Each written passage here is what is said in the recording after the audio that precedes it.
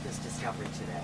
So yesterday afternoon, we were notified by the excavating crew here that's building uh, the roads and the infrastructure for an expansion of this community that they thought they had found some human uh, remains.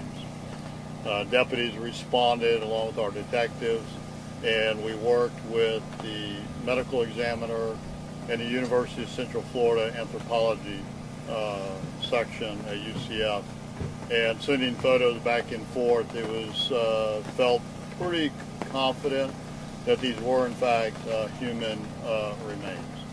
Uh, so, because it was getting dark, we uh, guarded the uh, the scene here, and then started this morning with a briefing, and then started sifting through all these mounds of dirt. We have our partnership with the Florida Department of Law Enforcement, their crime scene unit, along with the Sheriff's Office crime scene unit. And as you can see behind me, a lot of dirt has been moved around in this in this development, and so a lot of the dirt uh, that you see behind me came from the retention pond that they built. Um, we don't know if, you know, it was uh, unearthed technically in what's now the retention pond and put over here, or it was here and found. Uh, this area um, that's now cleared looked like the tree line behind behind us uh, to my right. So you can tell a lot's been moved. Uh, that makes it very difficult to uh, really determine where this may have occurred. Uh, if we're fortunate, it occurred right where the bones were, were discovered. Uh, but we're going to have to sift through, you know, I couldn't even count how many yards of dirt, probably hundreds of yards of dirt. And it's very painstakingly, very slow process. Uh, to do this, you have to get a shovel full of dirt, put it in a strainer, and and go through it and see what you find. So obviously bigger bigger bones are easier to find, uh, but you need to find everything because uh, we don't know. This could be a homicide victim.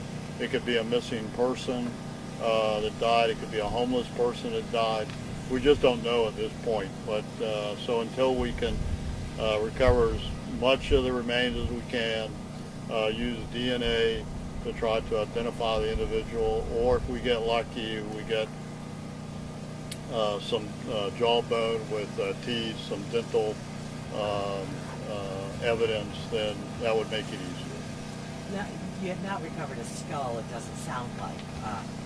More than one bone, several bones? So what I can say at this time is still active investigation that we have uh, recovered about four or five uh, bones or pieces of bones uh, that are human. So um, you know, hopefully we can recover most of the skeleton. It would be great to uh, re recover a jaw, a head, or something that would be a little easier to identify. It's probably impossible to say, but could it be more than one human being?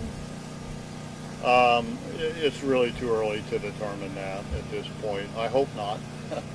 you know, um, but our detectives are going to be out here my emergency response team, as you can see, brought out uh, some of their equipment that they use. So we have shelter uh, for the investigators uh, and workers to cool down. It's been pretty hot. And, uh, you know, we have our trailer and we actually have a tent set up. There was a military surplus with a AC unit from the military uh, that we're using out there. So for the ERT, it's good training, um, setting up their equipment. Um, but it provides a service to uh, support uh, the team that's actually doing the field work. How long does it? Is that, oh, go ahead. I, am just curious. Are, are, we sure that these are, for lack of a better term, modern day bones as opposed to some archaeological find? Uh, based on what the UCF uh, anthropologist uh, told us, that these are not historical uh, bones. These are these are, they gave us a time frame, but I'd rather not release that yet. But certainly but, something more recent. Correct. How long will it take, or does it typically take to do the DNA on these? Well, DNA takes a long time, and that's uh, so you have to extract the DNA first uh, from from bone or marrow, depending on the condition of the bone. and then it has to be uh, in a database, uh, and then somebody has to be in that database. So, you know, it could take, sometimes DNA takes six months before you get results back. So obviously this will be a priority, um, but, um, you know, this, this is not going to be a case that's solved overnight, probably not even in a week. In a week, we might still be out here sifting the dirt, quite frankly. And is construction halted during all this? It is. Yeah, they have moved to another job site in Orlando area. Sheriff, no other um, no clothing, no other pieces of anything that might be connected to this person. Now, that's part of what the investigators that are going through the dirt are looking for. Uh, but right now, we have not found any uh, clothing material.